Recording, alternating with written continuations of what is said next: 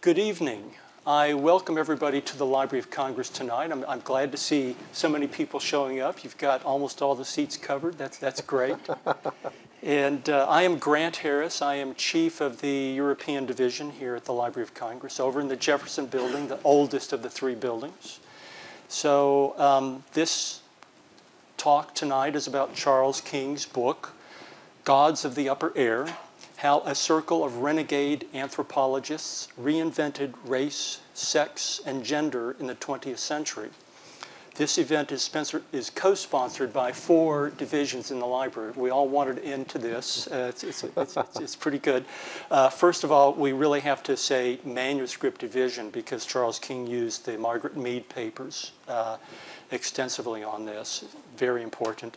Also, the Researcher and Reference Services Division the Rare Book and Special Collections Division, and my division, the European Division. So let me say a few things about Charles. Charles is a professor of international affairs and government at Georgetown University. He's the author of seven critically acclaimed books. His first book dealt with the country of Moldova and was a result of his doctoral dissertation at, at Oxford. Uh, three of his other books were published by Oxford University Press. Most of his works have dealt with places around the Black Sea and the Black Sea itself. The book we're talking about this evening explores something far removed from the Black Sea. Uh, again, the title, Gods of the Upper Air, how a circle of renegade anthropologists reinvented race, sex, and gender in the 20th century. Uh, and it has received lots of good coverage. I know New York has uh, covered it a lot, the New Yorker, the New York Times, uh, the Wall Street Journal, uh, the Washington Post had a very positive review about it. Um, so it looks at the development of the field of anthropology in, in, the United States through the groundbreaking work of Franz Boas, who came from Germany, and his students at Columbia University. So I would ask you to help me welcome Professor Charles King. Thanks. Thank you. Thanks, Thanks So, Charles, Black Sea and all these, these books about places around it, the Black Sea itself. So, how did you jump to anthropology? Yeah, well, I think I think I married an anthropologist, which is probably the most important um, answer to that question. But over time, you know, I realized that over the course of my career with these other books, I'd, really, I'd written about nationalism, ethnicity, I was interested in how societies developed and collapsed. Um, my first time out of the United States when I was a teenager was to the Soviet Union. Um, and I kind of became an expert in a way in going to places and watching them disintegrate in, very, in various ways, unfortunately. Um, and the forces that were so critical to that kind of politics, national identity, um, a sense of ethnic belonging, language, which was really the subject of my, my first book, and how people could get so upset over how you spell a word, or whether you use this alphabet or that alphabet, or whether some mythical being who existed in a, a shrouded past was real or not, or belonged to you versus belonged to me. You know, so many in the 1990s, these issues were critical to the politics of the parts of the world that I knew something um, about. And I thought that, you know, the, the thing that is animating my interest in this is how all of this happens. How, how do people take invented versions of human difference and raise them to the level of high politics or raise them to a state in which they're willing to die or kill other people on the basis of these things? How can people get so worked over, worked up over these things over issues that are ephemeral, right? That are that seem on the surface of things so incredibly thin, so not rooted in actual human experience. How can people, in other words, decide that they wake up one morning and suddenly they're this thing rather than that thing, and that's the most important bit of their life, you know? Um, and I thought I've written a number of books about a part of the world where these things have been very much at the forefront of politics over the last 20 or 30 years. Um, but they're also at the forefront of politics in my own country, my own homeland, in a rather different way, right? I mean, we, we have a different set of social categories in the United States, race principally, the one that from its foundation this country wrapped itself around and expended incredible energy trying to create and police over the course of the last two centuries. Um, and having seen how ethnicity, language, religion, nationality work in other places, I kind of I wanted to turn back to to my own home and see how those things work. I will say that when I first started working on this book, it had an incredibly triumphalist kind of air to it. Because I go back to the early proposal in 2015, 2014, 2015 or so, and I was going to tell the story of how we had all become so enlightened. Right? I was going to tell this triumphalist story of how we got over all of these divisions of the past. And then, of course, 2016 happened.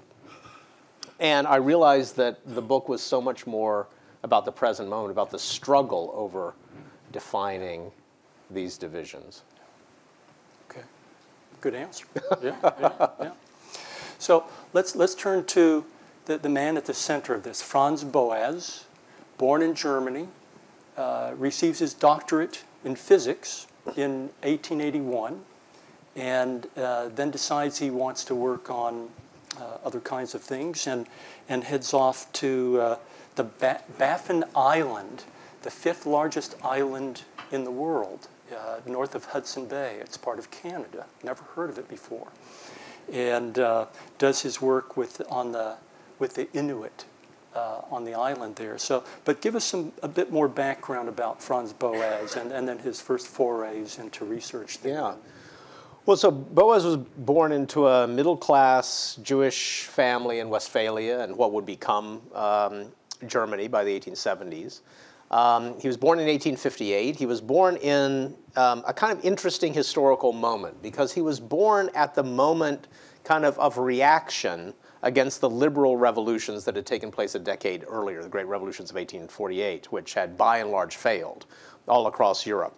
Um, people who had been supporters of um, the liberal values of 1848 often went into exile when the forces of autocracy reasserted themselves, and some of uh, Boas's family members were in that group, often journalists, writers, um, lawyers, members of the liberal professions who had fled to other countries in Europe from the German lands or even as far afield as the United States. And so Boas had some relatives, physicians and others who had, who had moved to New York um, after the failure of uh, those revolutions across the, the continent. Um, he should have gone into the family business, which was a kind of import-export business on his mother's side, uh, trading fine goods between Germany and uh, the east coast of the United States. And um, like so many um, children who have a pathway uh, decided for them by their parents, he decided not to take it. Um, went off to university, then did a doctorate, as you said, in physics, and then decided that he would be a kind of adventurer. He had no particular idea of what this would entail, but he knew you had to go to some place that was essentially unlike the place you happen to be living and write back about it. So he, he contracted with a German newspaper to write sort of sensational stories from the field. This was the era of, of Stanley and Livingstone, um, you know, great adventurers discovering new lands and writing about it in overwrought prose for readers back home, and that's exactly what he wanted to do. and so um, his father reluctantly agreed to finance this on the provision that he take the family servant along, and he did, Wilhelm Weike, who went with him. Um, and he set off for the Canadian Arctic with the idea that he would write maybe a few scientific papers. He would write these dispatches for um, the, the newspaper and sort of make his way as a noted adventurer. You know. Um, and he got there, and things turned out rather, rather differently. It was very, very hard um, to uh, to survive there, to find something good to eat, even with your servant um, alongside you. Um, he, of course, didn't know the language, although he had tried to make a brief study of it on the ship out. He spent the entire journey shipboard uh, seasick, um, and then it took about a month or more to make it from the outside of the bay to land because of sea ice. So I mean, you sort of have to imagine you're in a sailing ship, you know, going to the Arctic in this in this age. It was a great adventure indeed, but rather disappointing when he got there. But over the course of about a, almost two years that he spent on Baffin Island, he had a little bit of a of, of, a revelation, in fact, a rather profound revelation. And that is, it gradually occurred to Boas that back home in Germany, with a doctorate in physics, he was among the elite. He was smart, he could go to learned conferences, he would, could write learned uh, papers, but here, he was really stupid. Um, he didn't know how to survive on the sea ice. He didn't know what was good to eat. I mean, he didn't even know how to harness a dog sled team. Who doesn't know how to harness a dog sled team, right? You have to be a child not to know how to do that. And he was that. He was a child in this place. He wasn't a fully formed human being. And he wrote back to his fiancee, Marie Krackowizer, in, in New York, um, that he had this profound discovery that there is an essential relativity to what we call civilized behavior, or an essential relativity to what we think being intelligent or smart or being a full adult is, because he had just experienced what it's like not to be those things. If you, if you want to change your station in life, change your location in life and he experienced that in, a, in such a profound way, and it's the idea that would then filter in th all through his later scholarship and, and the, the essential message that he would pass down to his students. I was happy just to read that rather than go there. It was just it was just grim and brutal and yeah, cold, yeah, and yeah. yeah. I felt pretty stupid too. uh, so so he finishes there, mm-hmm. and then he does head to New York, where his fiancee mm-hmm. is there. Eventually marries sometime later when, yep. he, when he feels like he's somebody, I yep. guess. Um, but, but he's not yet where we know he's headed uh, many years later at Columbia University. So tell us the different things he did over a, a number of years there to different projects. Nothing was a permanent job. No, no. I mean, like, like most folks with a PhD, then and now, he spends a fair amount of time being an itinerant. I mean, um, and, and this is very upsetting to him because, you know, he arrives in New York Harbor from Baffin Island. The, uh, his future in-laws are there to welcome him, and he has to kind of break it to them that, yeah, he's had this great adventure, but he doesn't have a paying uh, job. And um, he, again, like most beginning academics, he starts writing papers, he tries to network, um, and he's very talented um, and, and, energetic networker, but his English was not very good. In fact, one of the most embarrassing moments for him in this period when he first came to the United States in the early 1880s is as um, giving a paper uh, before an audience here in Washington of the Washington Anthropological Society of what would eventually become the American Anthropological Association. And, um, and he has to have someone read it out because his English is not even good enough to read a paper before an audience in, in this, to him, foreign language. So um, he tries to network people at the Smithsonian. There are no jobs going, and he's a, really a bit of a failure until um, he is invited, eventually a few years later, to um, be involved in a big exhibition that's taking place in Chicago which we know as the Chicago World's Fair, the World's Columbian Exposition in 1893. And he's part of the group of anthropologists, which is a term he is beginning to use for himself rather than just geographer or traveler or adventurer, who will be responsible for putting together the first large building that ever has the word anthropology written across the front of it. In fact, when people go to the Chicago World's Fair and go into the anthropology building, it's really the first time most Americans have walked under a sign that has that label um, attached, uh, attached to it. So he's involved in bringing collections together. He had spent, he had begun to spend time on nor the Northwest Coast um, here in North America. That would eventually also become a, another major field site uh, for him in his, in his research work.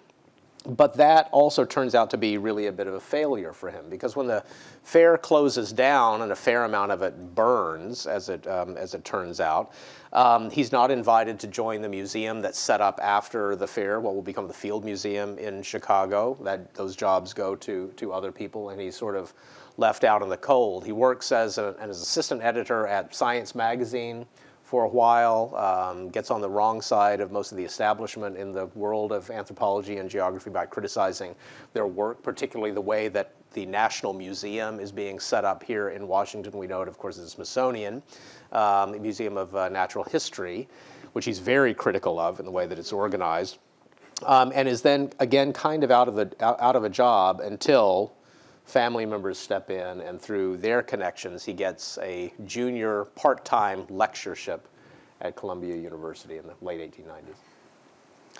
So two of the people that you, you talk about who, with whom he polemicized would be John Wesley Powell yep. and Madison Grant. Yeah.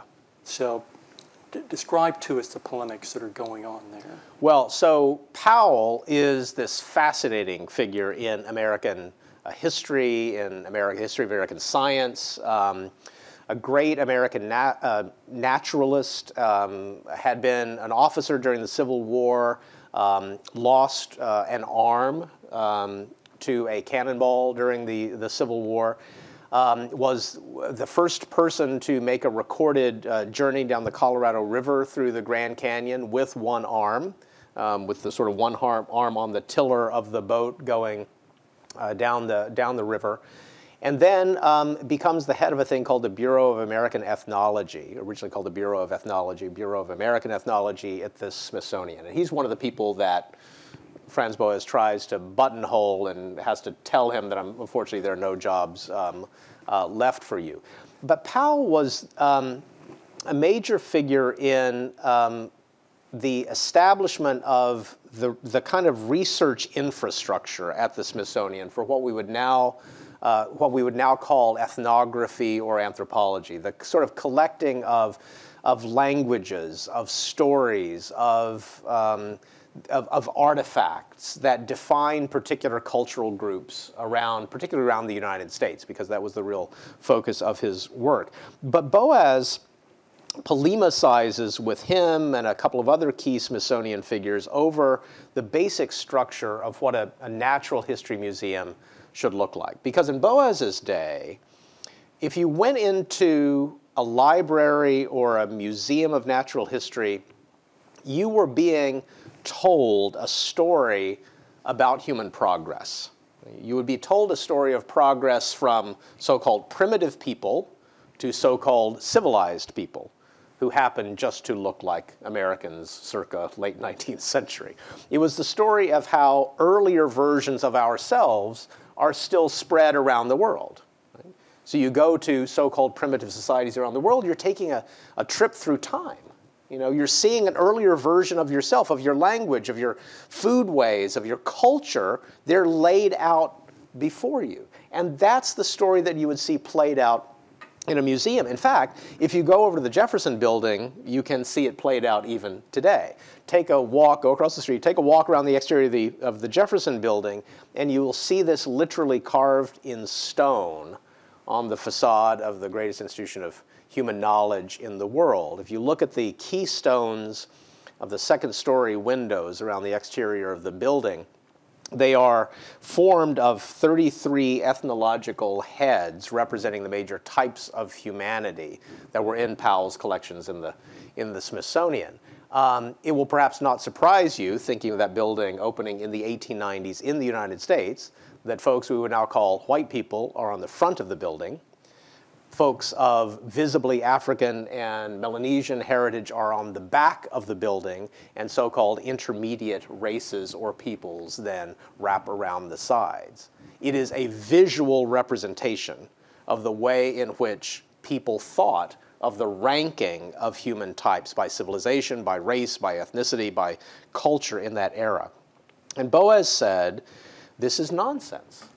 That, that if you take a, a bone rattle let's say. You find a bone rattle that exists in a Lakota Sioux society, it exists in a sub-Saharan African society, and it exists in, it exists in China. You can think that you're seeing a version of the same thing, that a bone rattle is a bone rattle is a bone rattle, and so a museum, you, can, you might believe, ought to put all those bone rattles together because they represent the same stage in some kind of human cultural evolution, right? Because we know really civilized people only use toys created by Fisher Price, right? Not a bone rattle. But Boas said, well, these are not the same thing, even though you might think they are. This thing is used to quiet a crying baby. This is the thing that's used to summon a rain god. This is the thing that's used to scare your enemy, right? These are not the same object. And when museums would put them together to tell this story of alleged human progress, they're misunderstanding. So the way we organize a museum today, where we might organize it by language or put all uh, the members of one cultural group together or one geographic group together, that was the argument that Boas was making, and he lost that argument to Powell in the 1880s and 90s. So I, am so long-winded. Shall I say a couple of words about Madison Grant, though? Do. Okay. Madison Grant is a different um, character, but not that different in his basic assumptions. So Madison Grant, also one of the great naturalists uh, in the early 20th century um, in the United States, uh, one of the founders of the Bronx Zoo, um, great friend of Teddy Roosevelt. Um, we probably owe the survival of the American bison to Madison Grant because he was a great advocate for creating these spaces in the American West where these noble creatures could uh, survive, lobbied Congress for the creation of conservation areas and so on. Um, but as he traveled around his native city, um, New York, he was a native New Yorker, he began to realize that he was seeing in New York in the teens of the last century the same set of problems that he had witnessed in traveling around the American West. He had seen what happened when noble native species were brought down by invaders. He had wh seen what happened when your habitat was polluted by stealthy outsiders. And he wrote a book in 1916 called The Passing of the Great Race that took his understanding of American natural history and conservation areas and applied it to the problem of, of race and immigration in the United States. The Passing of the Great Race, which tells this racial history of Europe based on the idea that countries, so long as they took care to preserve their native species, these noble creatures which grew up suited to a particular time and particular place that represented the greatest achievements that that society could produce. So long as they took care to preserve that, those societies lasted for a long time and, and, and achieved greatness. Um, they were ultimately brought down when they allowed in too many foreigners, to put it, um, to put it bluntly. Um, of course, for Madison Grant, the Native American is a term he uses in The Passing of the Great, Days, uh, Great Race. Native American meant people like him, right? people of Anglo-Saxon um, um, immigrant heritage, but particularly sort of Anglo-Saxon white people. Um, and The Passing of the Great Race turned out to be a, a bestseller. It was one of those books that in 1916 or so if you were aware, if you were a world-aware person, you know, and you wanted to read kind of the big book of the season, The Passing of the Great Race was that big book you should read. Um, Boas reviewed it very, very badly in the New Republic and elsewhere um, when he had the, had the chance. Uh, he said this is simply nonsense on stilts. This is not based on actually any scientific understanding of human progress or race or uh, human social groups or anything. This is simply repeating the same kinds of problems that you see in the structure of, of a museum. Yeah, yeah. And actually, Charles has pointed out to us, we have um, Hitler's copy of uh, Madison Grant's book. It was a translation into to German. Uh, it came out in 1925 in, in Munich. Uh, uh Mr. Uh, Julius Siegfried, or is that his yeah, name? Lehmann. Uh, yeah, Lehmann. Yeah, Lehmann, yeah, was the publisher. And um, Mr. Lehmann was publishing books that were um, promoting the, the, the, Nazi uh, racist theories. And, and so Hitler was right there in town also in Munich. And uh, these books just flowed right over to, to Hitler. And, and we have Hitler's copy, and, and Mr. Lehmann has actually written um, to, to Adolf Hitler and uh, with his own name, Lehmann, at, at the end of it. So, yeah. Um, and so uh, Hitler actually wrote to Madison Grant after that. And we don't have we don't have the original letter because it was later destroyed by Grant's um, uh, uh, relatives after his death. But we we have it on pretty good authority from someone who saw it on Grant's desk that Hitler had written. This is this book I consider my Bible because it gave a racial interpretation of the entirety of Euro European history that fit very much with other things Hitler was reading at the time. Keep in mind, this translation comes out right at the time that Hitler is putting the final touches on Mein Kampf. So um, he's very much reading the racial science that is coming from the United States, from other parts of Europe, Europe at the time. And you know, that's, that, that's um, an important point because we have a tendency now in looking back a century ago on theorists, writers like Madison Grant and others, and think that they must have been so fringe to American self-understandings in that moment, or we think of this as a dark chapter in American public life. But these were celebrated, widely read, um, uh, globally understood uh, writers and thinkers and theorists of the time.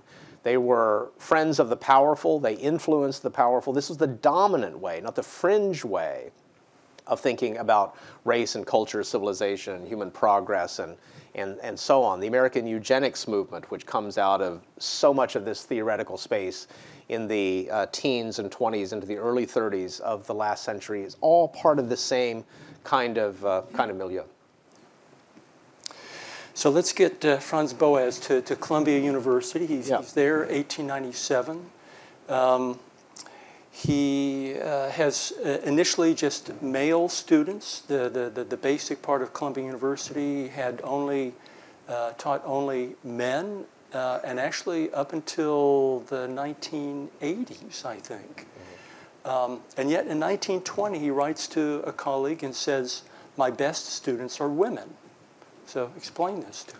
Yeah, so um, of course, Columbia was a historically white male college or university. It was uh, one of these institutions built for the education of young men, particularly the education of young white men. It was an institution like so many that had restrictions on Jewish enrollment um, until well into the 20th uh, century. Um, and Boas uh, becomes a professor there in the late 1890s, gradually leaves his other job, which was at the American Museum of, of Natural History, and then begins working full-time um, at, at Columbia to develop what will become the anthropology department. Initially, psychology, sociology, anthropology are kind of all lumped together, and then Boas uh, uh, gradually begins to develop out just the anthropology component um, of, uh, of the courses and the research that's happening there. And then the First World War um, happens. And Boas is a great opponent of the First World War and writes a whole series of articles and uh, what we now call op-eds and letters to the editor. He was a great letter to the editor writer. He was one of those guys um, who would constantly writing letters to the editor about various subjects uh, to the New York Times and elsewhere.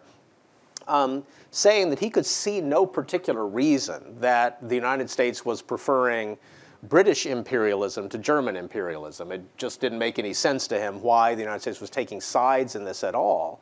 And keep in mind that even though Franz Boas was, uh, was Jewish, the bit of his identity that mattered as of the First World War was his German identity, right? Being a German-speaking American, part of the largest European immigrant group in the United States, second largest after, after people like Madison Grant at the time. Um, and of course, during the war, once the United States enters the war, Um, you know, German is outlawed in schools in many states in the United States. This teaching of German outlawed over telecom, the speaking of German outlawed on the telephone and other forms of telecommunications. Uh, Germans prevented from living in uh, Washington D.C. and other places. There are there's a massive terrorist attack um, uh, on the outskirts of New York that's attributed to German agents. So this is a you know in, in a time of incredible fear and hatred toward this minority uh, community. And Boas suffers as a result of that at Columbia. They uh, take most of his teaching at Columbia University itself away and send him across Broadway to the Women's College of Columbia Barnard, where it's thought he could, wouldn't do any damage at all if he were um, instructing undergraduate women. And that turns out to be the making of his career and also the making of the entire discipline of anthropology in the United States, because it's the women who come through his undergraduate seminars who are then drawn into this world that Boas has, has, has created. Um, this you know magnetic sphere that he eventually creates. That's that's how the women come into the department. What do they like about it, though? What inspires them? Well, you know, you think about the kinds of things he was he was beginning to teach. The the idea that there is no such thing as one universal best civilization, you know, which goes back to his Baffin Island days. The idea that the categories for understanding human life that we've created right here and right now that seem natural and obvious to us are not natural and obvious to other people.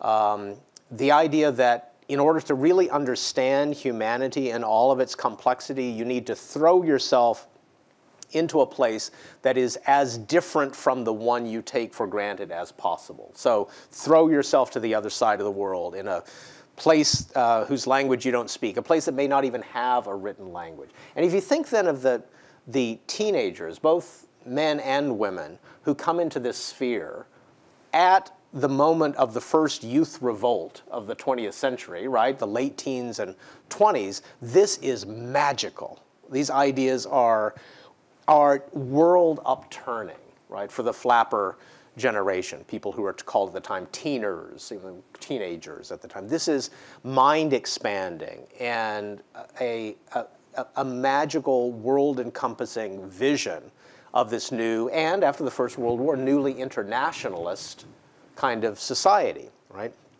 So being drawn into that orbit allows you not only to feel that you're on the front edge of something really big, like a really new science of humankind that is a Borning at there, there in the seminar rooms at Columbia. But it's also a really, really great way to drive your parents crazy, right?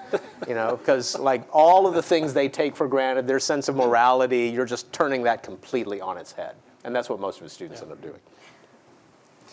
One, one of his early students, uh, in a way, would be Ruth Fulton Benedict.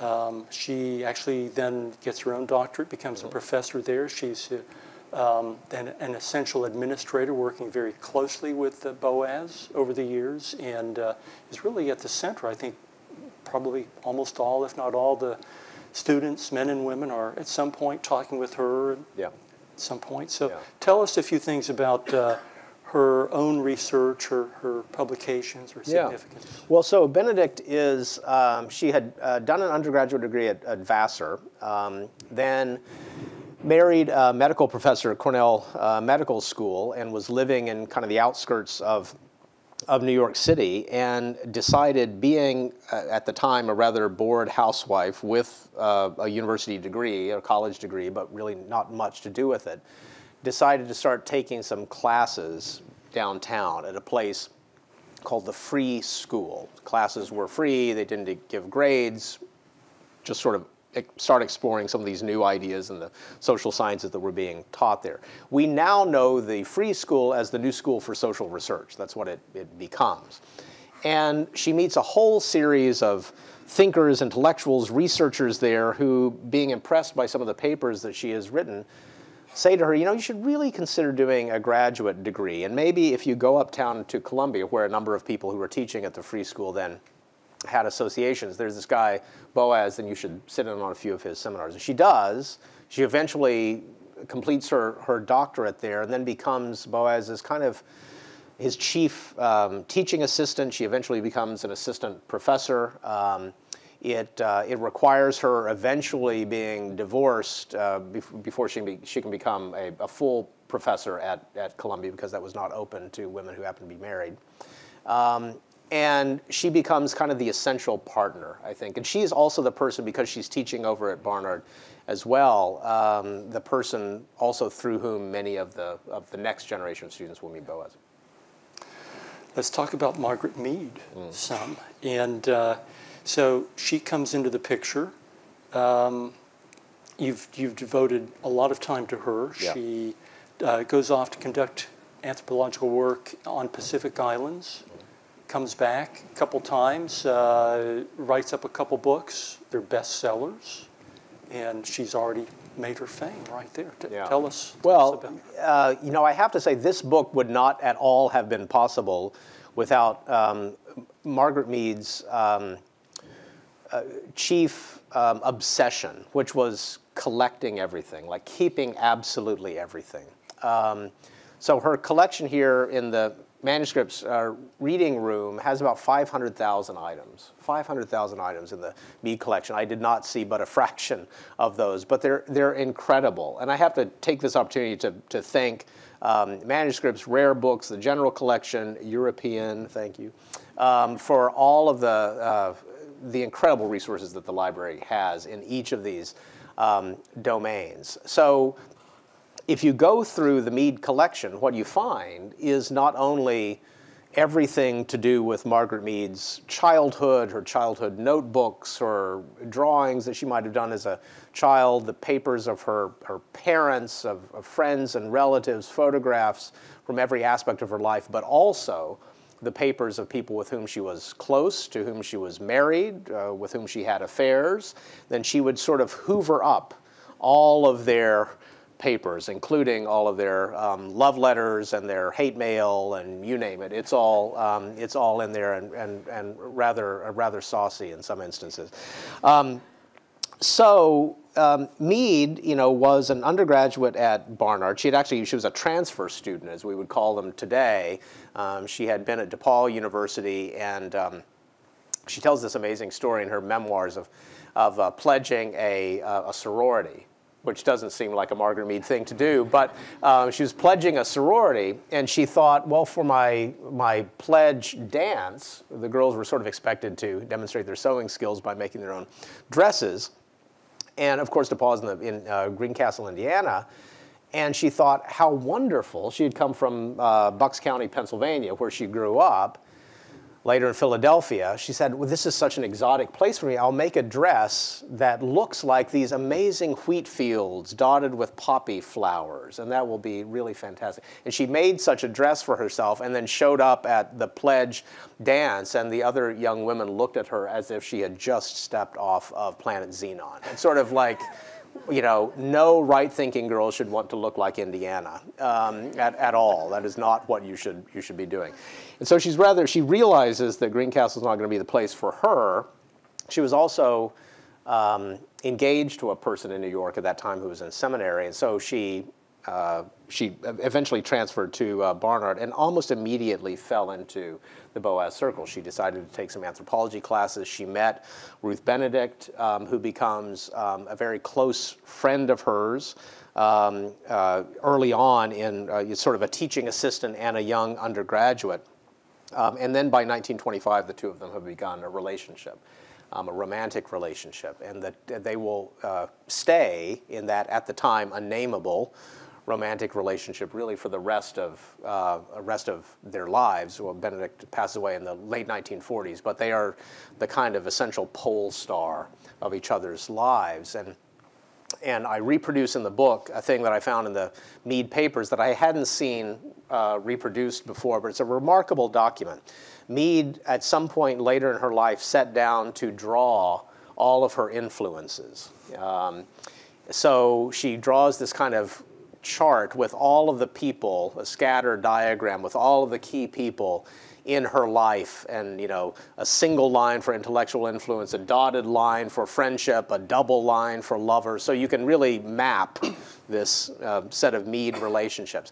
And sitting kind of at the center of this map is Mead herself and Benedict. It's like this sort of twin suns kind of revolving um, around each other. And the time they really make their love known uh, to each other fully uh, is when the two of them are on a train together, setting off across the United States. Benedict to go out to the American Southwest to do some research in Zuni, in the Zuni Pueblo, and Mead on her way to catch a ship on the west coast to go to American Samoa, which is the first time that she will have gone to the Pacific Islands.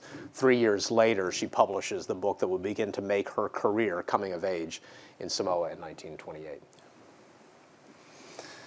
It's all fascinating, though, those parts of the book. Yeah, it's, it, it is saucy, as you say. There's, there's, there's lots there, but we'll have to pass by that sauce for right now.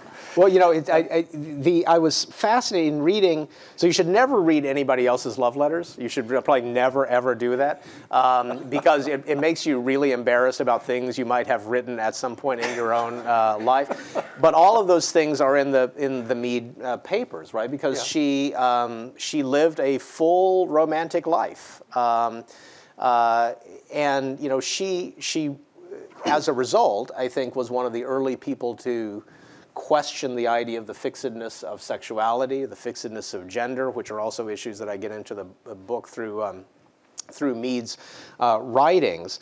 But to me, so many of the ideas that come out of this circle about the the social construction of race, for example, the non-fixedness uh, of gender, um, the way in which sexuality does not come in one or just two varieties, but might come in many, the way in which we aren't the end point of any kind of natural form of social evolution, that people in so-called primitive societies can be quite happy and really, really smart.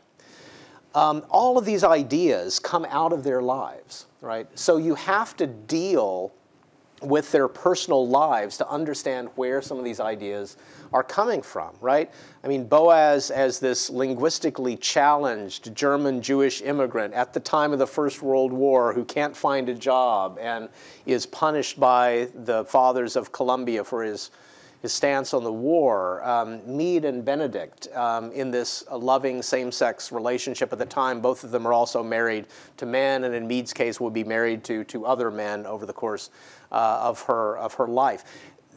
They were misfits, for lack of a better word, in their own society, in their own time. They didn't fit properly into the categories that were meaningful in their time and space. And so they knew intimately what it was like not to fit. And all of them, at some point, have the, exactly the same realization that Boas had on Baffin Island.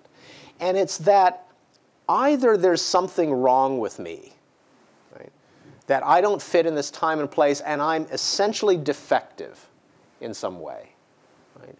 Um, or there's something about the relationship between myself and the social context in which I find myself that defines why I'm feeling so lousy and out of place right at, right at the moment. And in that little germ of an insight is an entire social theory that comes exactly from their life experience. And you see it, you see it in the, you see it in the, the writings, you see it in the letters that they write back and forth and so on. I'd like to spend more time on that, but we've got to keep going. We're going to talk about uh, Zora Neale Hurston. She's quite quotable, actually, and I yeah, believe absolutely. Uh, might you have used any words from her in the title of your did. book? I did. She is responsible for the title of, of the book, Gods of the Upper Air, which is a, a little snippet from her autobiography, actually a snippet of the autobiography, of a bit of her autobiography that was excised before it was published in the United States, and thereby hangs a tale. But um, she's sort of reflecting on what she had learned over the course of her life um, she's writing her auto autobiography in the early 1940s, right in the middle of the war. She's reflecting on what she learned being part of this group of people around Papa Franz, as he was known to a, a lot of his students. And she has this beautiful quotation where she says, you know, I don't know that anything is true for all time. I don't know that I've, in my life experience, I've discovered anything that is universally true everywhere. But I know what's right for me. I have felt, she has this beautiful line where she says, I've felt the lightning on my fingertips. I've, I've, I've conversed with the gods of the upper air. I've looked at the world from on high. And so many of these differences that we think of as essential and timeless and universal, it's kind of melt away once you see the essential unity of human beings laid out uh, before you. She had, you know, she had grown up in Jim Crow, Florida. She had moved to Washington, D.C., worked in one of those great ironies of history as a waitress at John Wesley Powell's dining club. We know it as the Cosmos Club here in Washington, D.C., but she was a waitress at the Cosmos Club, um, took classes at Howard University, didn't graduate, um, and then moved to New York, kind of uh, uh like Mead did, to make her uh, fortune, enrolled as the only African American undergraduate at Barnard at the time, and likewise fell into this magnetic sphere of, uh, of Boas, Mead, uh, uh, Benedict, and, and, and others. And um, then Boas eventually convinces her to stay on and do a, start working on a PhD, which she, uh, which she, she doesn't finish.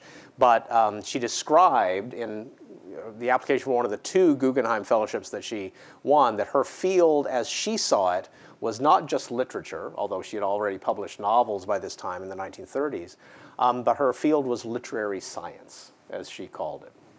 And she spent then the late 20s, much of the 30s, going uh, to do field expeditions in the same way that Mead is doing in Samoa and Papua New Guinea and, and elsewhere, but in Hurston's case, on the Gulf Coast of the United States to Haiti and Jamaica.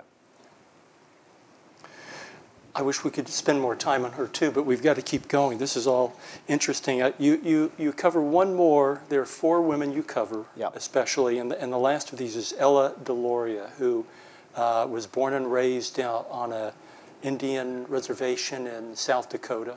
So tell us about her research. Yeah, so she's the same kind of figure, uh, one of these um, young women hanging around Columbia in the 1920s. She's actually a student at Teachers College rather than at uh, Barnard, but um, Franz Boas at some point around 1927-28 hears that there is a, a, a, young woman at Teachers who uh, speaks uh, the Dakota and Lakota languages. Um, She's actually from the Dakota uh, division of the, of the Great Sioux Nation.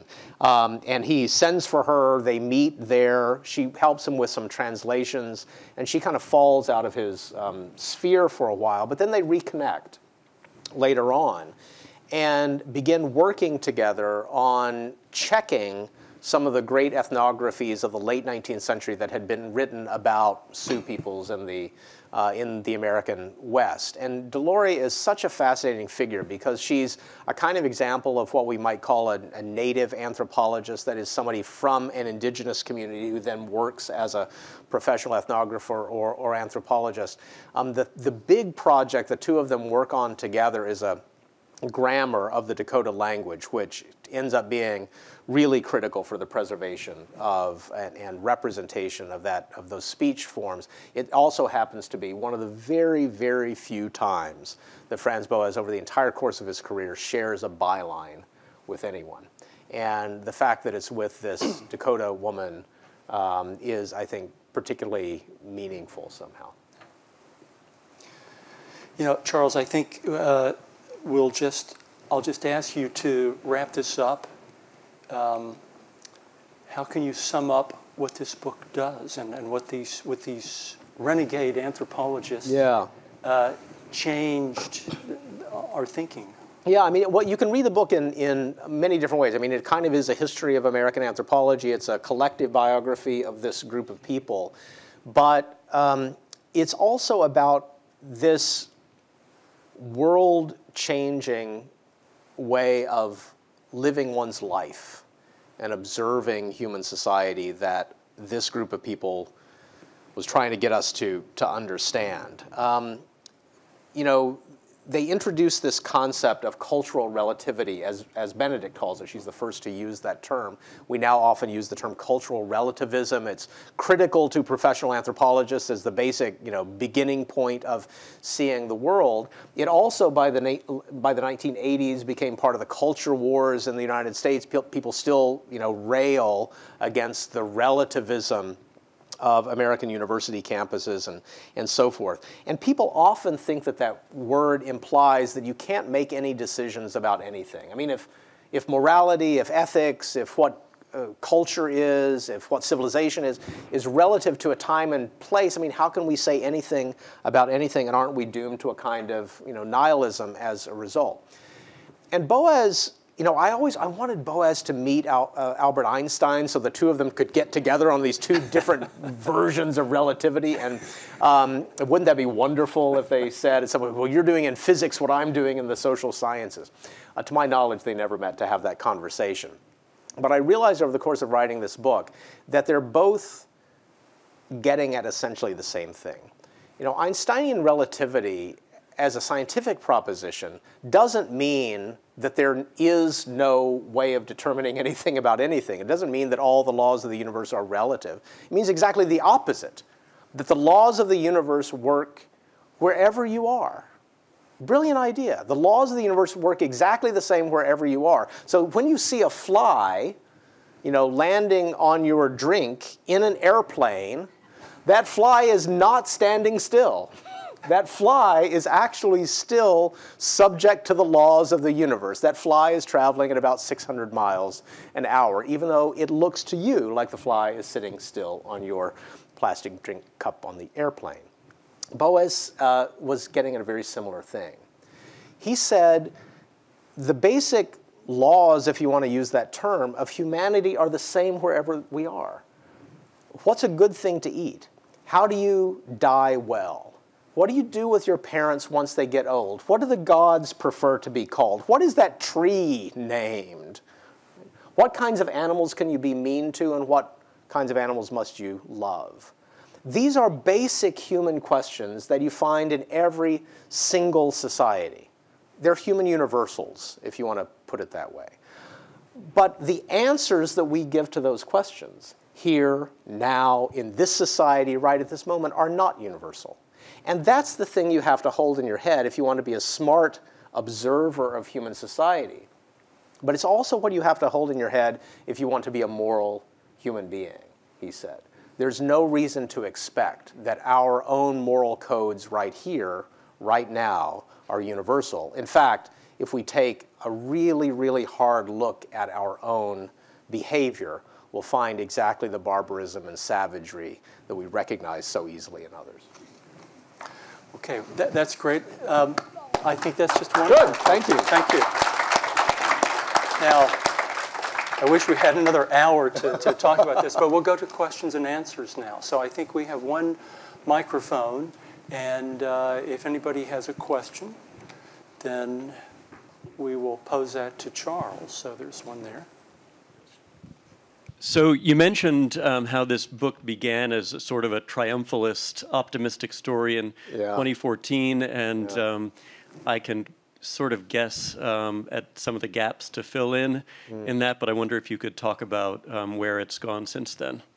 Yeah, well, I mean, I think that the the book is is much truer to the history by not being this triumph by not being a triumphalist you know, story um, because all of the people in the book lived their lives as a, as a struggle, right? I mean, Boas was investigated by the FBI as a likely uh, communist. Um, you know, Mead and, and, and Benedict in this sort of secret relationship um, for a kind of openly secret relationship for, for most of their um, lives. Um, you know, the struggles that, that Hurston faced as an African American woman in, uh, in the 30s and 40s.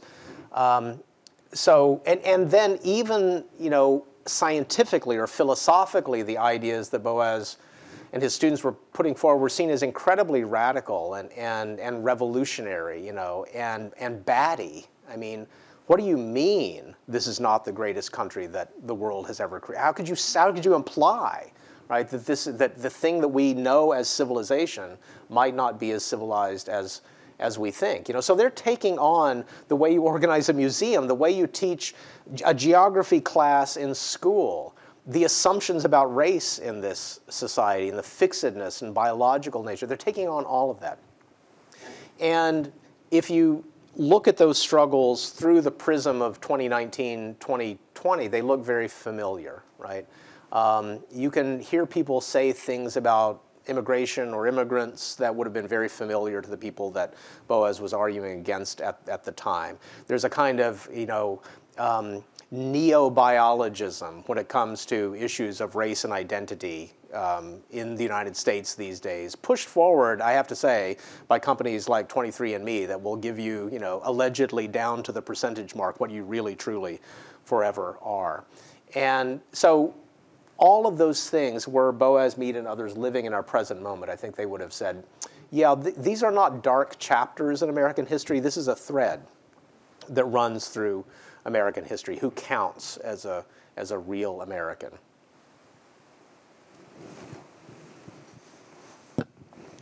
Hi, thanks so much. Yep. Um, I was recently doing some reading on Zora Neale Hurston, and one of the things I read about was Boas sending her out into the street to measure um, African Americans' heads. Mm-hmm. Um, and I've always understood that to be something that social Darwinists did to say, look, these people are smarter, they have different size heads. And so.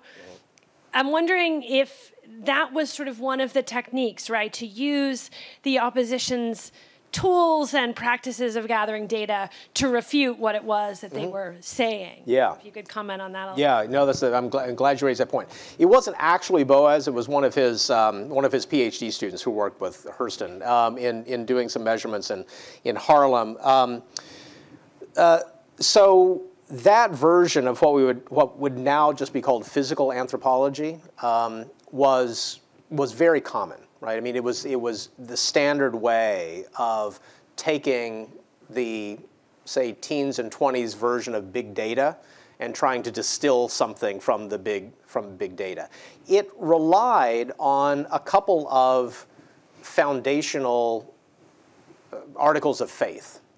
And they were that your race is discernible through the physical measurements of your body, that your intelligence is somehow discernible through the physical structure of your body. I mean, think about, and this goes back to the, to French theorists of the 19th century and so on, but think about why we have a mug shot, right? Why, why do we take a photograph from the front and from the side? Well, you might think, well, it's for identification purposes. That's really quite silly. I mean, you better have a like a, a, view from the back, right? If you're trying to really identify somebody on the street, take a picture of them, the back of their head. The modern mugshot is a direct result of some of these ideas that criminality, criminality could be discerned from the structure of one's head, and criminality ran in families, and uh, sort of all of these ideas were very widespread, very, very standard.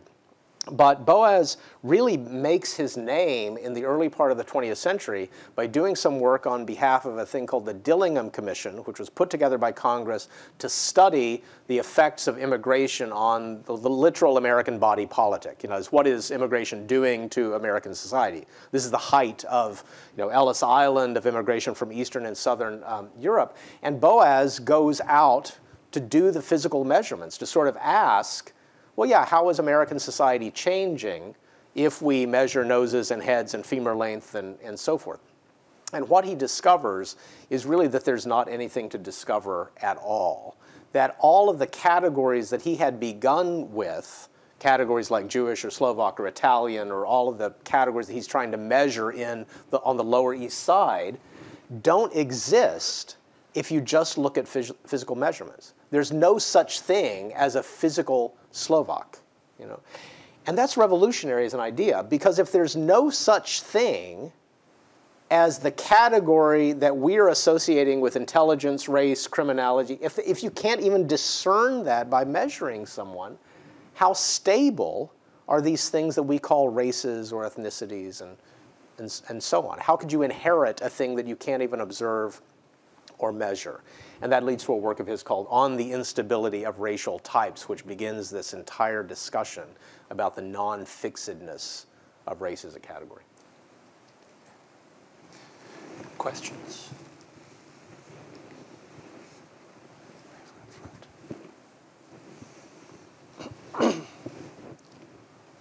Some, some years ago, I went to a Kluge talk, and it was about the future of Western civilization. So I figured I should find out about this. and the conclusion was, with all the panelists, that science fiction writers have the mm. best fix on on what is happening. Mm. So th- that made me feel a lot better as mm-hmm. a star. Yeah. Star Wars. Yeah, yeah, yeah. yeah. But my so my question is though, with what's going on with genetics mm. And some of the the imaging of how the brain works, mm. do you see at some point uh, that anthropology w- would come back to typologies? I mean, on this whole other level? Mm. Well, that, that's, that's a great question. I have to preface anything I say in this space about not being an expert. I'm not a geneticist. I'm not an expert in any of those, any of those areas.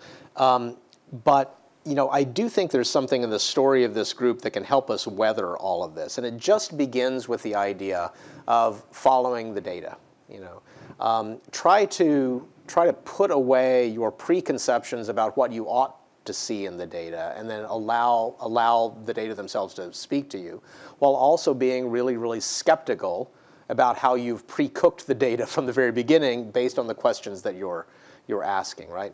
Because think about it, it seemed, you know, a century ago, it seemed absolutely obvious to the leading scientists of the day that uh, crime ran in families, that women were naturally suited to some professions but not to other professions, that the condition of being feeble minded, as it was called at the time, was best um, responded to by pe- keeping people in an institution and allowing them to, you know, make tables and chairs. Um, uh, all of these things were completely taken for granted because the best science of the day told us that those things were, uh, were, were true.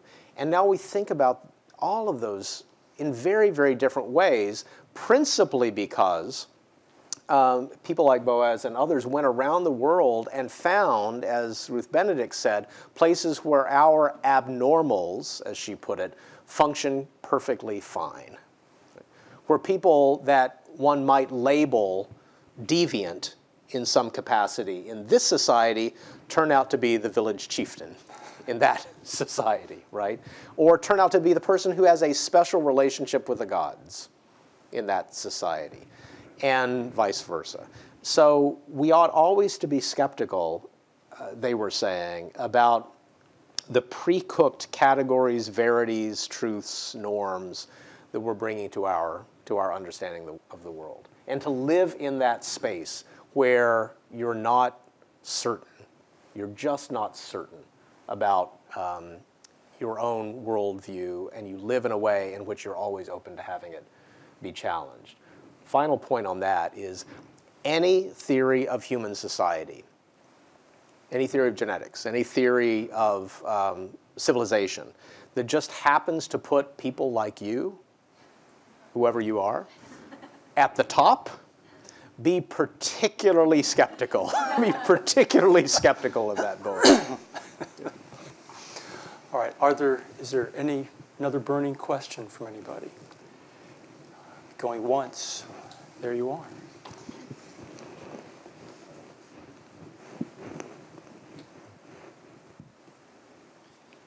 I attended uh, uh, your presentation of your earlier book about uh, Istanbul. Yeah. And there you told this kind of personal story how you made this big discovery and this Turkish uh, glass mm. of tea was trembling in your hand, this like personal touch. And here you also tell how uh, all these theories came through personal experience of all these people. So I was wondering, could you share any personal uh, story uh, connected to your research? Yeah, that's that's a that's a that's a great uh, that's a great question. Um, you know, I, I, think there were many moments in working in the Mead papers or elsewhere where you come across a document and you think, or an object, and you think, um, that is so familiar to me. So, you know, Boas telling Margaret Mead to watch out for her health when she goes to Samoa. It reminded me so much of emails that I write to graduate students when they're off doing, uh, doing field work and so on. Um, but I will tell you of a moment that, in which I was incredibly moved and a thing that, that I came across that I hadn't seen published before. It's a, from, in, a, in a letter from um, uh, Mead to Benedict. And they have just completed their train journey across the United States. Um, Benedict is getting down from the train near Gallup, New Mexico, where she's going to go to the Zuni Pueblo and spend the summer doing field work. Mead is, just, she's just finished her PhD. She's never done any field work. She's just going off to her field work site. Of course, neither one of them, 1925, summer of 1925, can possibly know what will await them, right, in their life. And Benedict gets off the train, and she's standing there on the quay, and she, Mead and Benedict are looking at each other through the train window. Mead still on the train to continue to the West Coast, Benedict standing on the train platform. And another train comes by without stopping on the other track and lifts up Benedict's hair. Um, and as if she's somehow moving. It makes it look like she's moving. The wind from the train is sort of pushing her hair in one direction. And Mead says, At that moment, I knew both that I loved you and that the two of us would always be in harness with each other. Because it's as if she's sort of like this uh, native spirit floating there on the track. And Mead herself is beginning, as the train begins to move, it's like Benedict is moving together. I was incredibly moved by that, really for two, in two ways. One, seeing this moment of people's life when they have no way of knowing what's coming down the track. You know, what, what life will hold for these two women at that moment. And also the incredible secrecy that had to attend the relationship between the two of them, given the time and given the place. It's absolutely heartbreaking and thrilling at the same time. And you find that in so much of the papers that are, that are here in the Mead collection of the library. That's great. I wish we had time for more questions. You've been a good, attentive audience and stayed with us the, the whole time. Nobody's left. That's great. Um, but uh, that's always we, a plus. Yes, yes, yes. it is really. uh, but uh, now I'm going to have to have Charles sit at a table and um, sign copies of the book, and so um, so I'll have to go straight to do that. Thank you all for coming, much, and, and thank Charles again.